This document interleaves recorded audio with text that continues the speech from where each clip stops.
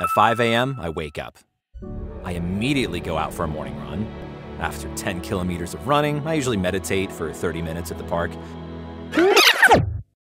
All right, that's not true. I don't wake up that early. I am not a morning person. I don't wake up at 5 a.m. nor at 6 a.m. I wake up at 8. I splash some water on my face, make some coffee, take my bag, and leave for the office.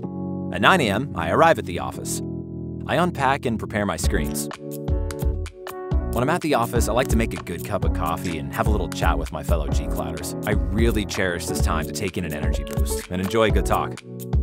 Let's go to the stand up of the day. During this short meeting, we go around the table and discuss yesterday's activities, what we're planning on doing today, and any blockers that might prevent us from accomplishing our tasks. Usually, the rest of the morning is filled with meetings. If not, I work on architecture or system designs. If the requirements allow it, I usually try to use services that are fully managed by Google Cloud, such as Cloud Run, BigQuery, and Cloud Functions. This way, we have to worry less about deploying the feature and the servers behind it and can focus more on actually building it. At 1 p.m., I have lunch with the other G Clouders.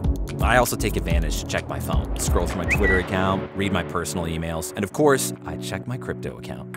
I also like to play a ping pong game or a little FIFA game. After lunch, I start working again.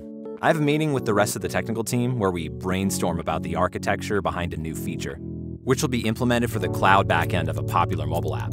It's great to collaborate with my teammates since it allows us to sharpen our problem solving skills as well as sharing knowledge with each other. This next meeting is with the project manager. We analyze new features and give estimates on how long the different tasks will take. It's super important to decide on what will be a part of the next development sprint. For the remainder of the day, I start setting up cloud services for the new feature we just brainstormed about. This one will require a REST API written in Go that gets its data from Firestore and will be deployed on Cloud Run. As a cloud engineer, it's so nice to have all these powerful tools at your fingertips.